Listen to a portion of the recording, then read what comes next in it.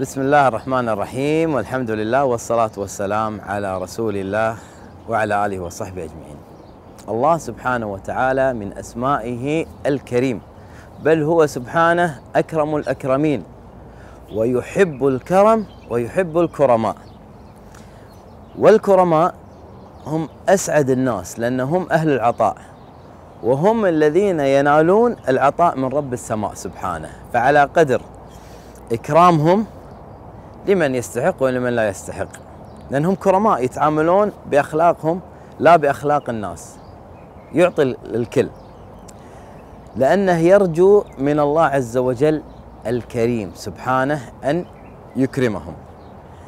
فالكرماء هم أسعد الناس وأتقى الناس كما قال عز وجل وأما من أعطى واتقى وصدق بالحسنى.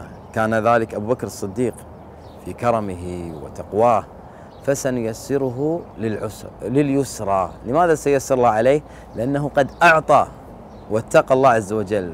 فأهل العطاء هم أهل العافية من البلاء. الكرم يا أخواني ممكن يكون مع الفقير وممكن يكون مع الغني ممكن يكون مع الصغير وممكن يكون مع الكبير والأمير مع الكل. ممكن تكرم الإنسان بمالك ممكن تكرم الإنسان بأخلاقك. وكذلك ممكن تكرمه بحسن التعامل. حتى إحنا نقول أحيانا إذا كان الإنسان تعامله شين نقول له شنو؟ اكرمنا بسكوتك. ليش؟ لأنه أذية. هذه تعتبر من أشد الأذية إن الإنسان يزعج شخص. فإذا أكرمه بالسكوت يعتبر هذا من الكرم بحسن الخلق. حتى إن الكلمة الطيبة تعتبر صدقة. وهذا من الكرم إن الإنسان يكرمه بكلمة طيبة. والكرم لا يقتصر على إعطاء المال أو العزائم لا الكرم له معنى كبير.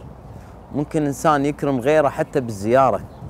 على قولتهم المسامح كريم. أحيانا الإنسان ممكن يكرم إخوانه بالعفو والمسامحة لأن هذا دليل على كرم خلقه وحسن خلقه. الإنسان في تبي بيأخذه كل صغيرة وكبيرة ويعاتبه ويحاسبه عليه لكن من الكرم إن الإنسان يسامح ويطوف ويتغافل. الكرم له آثار كبيرة على الفرد والمجتمع. الفرد الكريم دائما الله يحفظه سبحانه. صناع المعروف لا شك هي من الكرم. صناع المعروف تقي مصارع السوء كما أخبرنا بذلك عليه الصلاة والسلام. كذلك الكريم يعني نتكلم عن فوائد الكرم على الفرد وعلى المجتمع. على الفرد قلنا يقيه الله عز وجل مصارع السوء ويحفظه ويعافيه.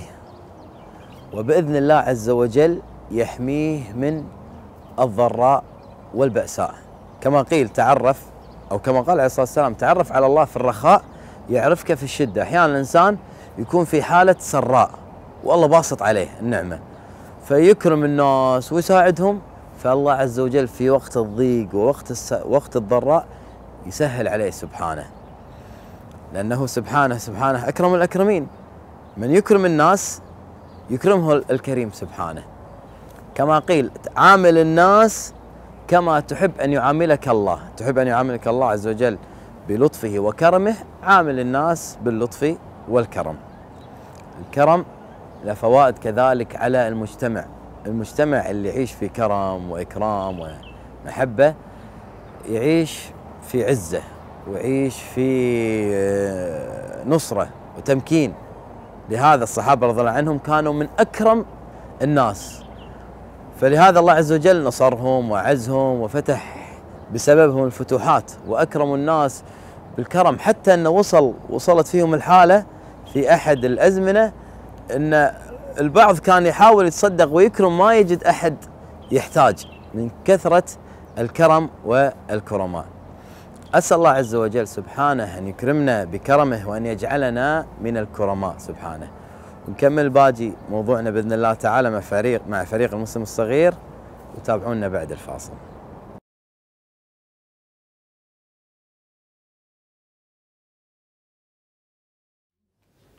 يا هلا يا هلا مرحبا بحبايبي، شو أخباركم؟ الحمد لله عسى دوم بخير الله يحفظكم. وياك. حبايبي اليوم موضوعنا جدا مهم عن صفة من أهم وأجمل صفات المسلم اللي هي صفة الكرم. الكرم وهو فعل كل خير بطيب نفس سواء بذل المال أو بذل الطعام أو الكلمة الطيبة.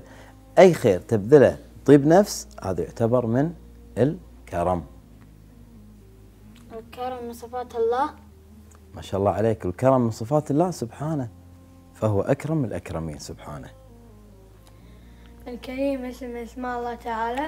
وهم بعد يا سلام عليك. أحسنت. هم بعد الكريم من أسماء الله عز وجل. فهو سبحانه الكريم ومن صفاته وأفعاله الكرم سبحانه. فيكرم عباده سبحانه. لا إله إلا هو. إنزين بعد شو تعرفون عن الكرم؟ آه يعني إذا أحد طلبك لازم ما ترده وما تقصر وياه. حلو. أي واحد يطلبك شيء ما ترده وما تقصر وياه. أو إنك هم بعد يكون عندك روح المبادرة. قبل لا يطلب منك تكون عارف أو حاس شنو يبي فتعطيه وتكرمه قبل ما يطلب منك. ما شاء الله عليك. الكريم لازم يكون غني؟ سؤال جميل. هل لازم عشان إنسان يكون متحلي بالصفة هذه صفة الكرم وإنه يكون إنسان كريم هل لازم يكون غني ويتصدق ولا ممكن الفقير يكون كريم؟ إي نعم الفقير ممكن يكون كريم ويمكن يكون هم بعد أعظم عند الله من من الغني. شلون؟ أحيانا الفقير مثلا عنده آه، مبلغ بسيط. تصدق بنص هالمبلغ هذا. نص المبلغ خلينا نقول مثلا 100 دينار وهو ما عنده إلا 200 حلو؟ فتصدق معناته بنص ماله. واحيانا الغني يتصدق بألف. بس هو عنده ملايين. هذا يعتبر شوية. فهني ممكن بهالحالة هذه هذا الفقير اللي عليه مسؤوليات وحالته المادية مو ذاك الزود ممكن يكون أعظم عند الله عز وجل من شنو؟ من الغني اللي تصدق بمبلغ حتى لو كان أكبر منه المبلغ هذا يعني أكبر مبلغ اللي تصدق فيه الفقير لكن الغني والفقير كلهم بإذن الله تعالى يكونون كرماء على حسب نيتهم وعلى حسب شنو؟ الجود وعلى قولتهم جود بالموجود الشيء اللي متيسر عندك تعطيه ما تيسر حتى لو ما تيسر ممكن تكرم الناس بشنو؟ تكرمهم بأخلاقك. ممكن تتصدق عليهم بالكلمة الطيبة. النبي عليه الصلاة والسلام قال الكلمة قال الكلمة الطيبة صدقة. واحد ما عنده فلوس يعطيهم كلام طيب يكرمهم بهذا الكرم اللي هو شنو؟ الكلمة الطيبة. كما قال عليه الصلاة والسلام الكلمة الطيبة الكلمة الطيبة صدقة. انزين. الكرم يا حبايبي من قلنا من شنو من صفات الله. الرحمن سبحانه والكريم سبحانه إذا شاف عبده دائما يكرم الناس راح راح يخليه شنو؟ من المكرمين الله عز وجل راح يكرمه وراح يعطيه ليش؟ لأنه يعامل الناس شنو؟ بالكرم فالله يعامله بالكرم حتى من أجمل الكلام اللي قرأته إنه يقولون عامل الناس كما تحب أن يعاملك الله تحب أن يعاملك الله بالكرم يكرمك؟ أنت أكرم الناس. وطبعا لما تكرمهم مو تكون يعني مو من نفس كذي يعني بس علشان والله لا يزعل علي. لا لا لازم تكرمه من طيب نفس وأنت حاب الصفة هذه صفة الكرم تحب تكرم. يعني الكريم مو بس يعني إنه يعطي بس لا لازم يحب الكرم.